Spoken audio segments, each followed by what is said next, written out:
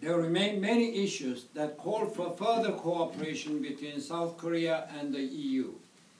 First, we need active EU cooperation in convincing North Korea to become a member of the international community. In including North Korea to open up and reform, the EU is uniquely positioned to have a more positive influence. This is because North Korea's level of vigilance vis-à-vis the EU is considerably lower than that towards the United States, South Korea, or Japan. This is partly due to geographical reasons, but it also stems from mutual confidence that has been accumulated over the, over the years. I hope that the EU and the UK will continue their cooperation with North Korea. Small steps such as providing educational and training opportunities to North Korea, North Korean technocrats and technicians could go a long way. Second, I would like to ask the EU continue to pay keen attention to the North Korean nuclear issue. The EU has consistently called for denuclearization of North Korean peninsula in order to establish peace on the Korean peninsula and create a stable security environment in Northeast Asia. I wholeheartedly support the position of the EU that the North Korean nuclear issue should be resolved in a comprehensive and peaceful manner through dialogue and cooperation. I also hope that the EU will maintain this position in the years ahead. The Democratic United Party and I will also actively pursue the resumption of the six-party talks in order to address the North Korean nuclear problems.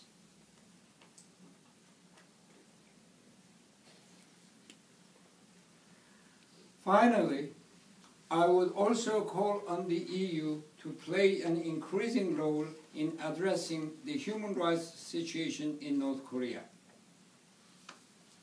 Understanding there are North Korean refugees who have settled here in the UK. I understand, sorry, I understand there are North Korean refugees who have settled here in the UK.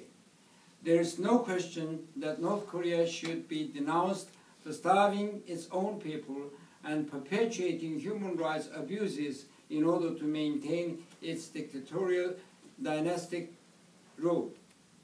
But again, I would stress that we cannot solve anything only by isolation and containment.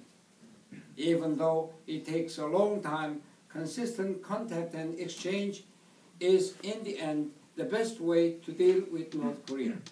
In doing so, we will make further progress in reducing tension and establishing a peace regime on the Korean Peninsula. Transparency in the distribution of humanitarian aid cannot be achieved in one step. The Democratic United Party believes in detaching humanitarian assistance from the prevailing political circumstances of the day.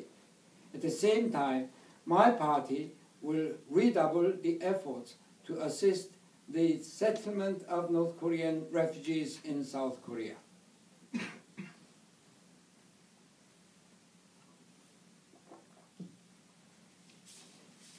I have one, only one page. Sorry.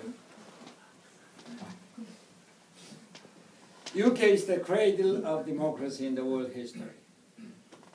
South Korea learned from the British example in building its democracy. My prayers go out to those young British men and women who fought in the Korean War in order to safeguard South Korea's sprouts of democracy. The seeds of British value that they sowed and now blossoming in South Korea's flourishing democracy today. We now pride ourselves on becoming a model for other Asian countries' democratic tradition. UK and Korea and the UA, EU and Korea share key values such as democracy and human rights. We also share painful histories of fighting a war together. UK and the EU have achieved integration across national boundaries and played a key role in ending the Cold War. No doubt, these are mo momentous historical milestones. It has been 55 years since the Treaty of Rome was signed, which provided a foundation for the establishment of the EU. Building on European community established in 1967, the EU formed in 1993 to become the world's largest single market, comprising 30% of the entire global GDP today. Now, we seek to learn again from your history-making achievements by building a peace regime that can be supported by all, all allies and neighboring countries of both South and North Korea. We will bring an end to the last Cold War in East Asia. We wish to pave the way towards unification by inducing North Korea to become a part of the international community. At the same time, we will take the initiative to promote cooperation among countries in East Asia.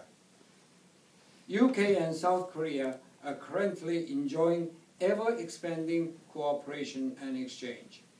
The growing, the growing prom prominence of culture in this day and age will only reinforce these trends. Our two countries are building closer ties within the framework of forums like the Asian Asia-European meeting. I have no doubt that our friendship will become more vibrant and strong in the future and that those of you sitting in this room today will definitely make a great contribution to strengthening our bilateral relations. Thank you for your attention and really, indeed, your endurance.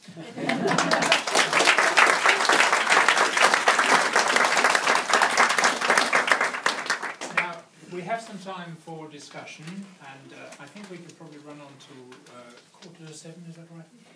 Uh, so what I would ask is that you indicate if you'd like to ask a question by raising your hand,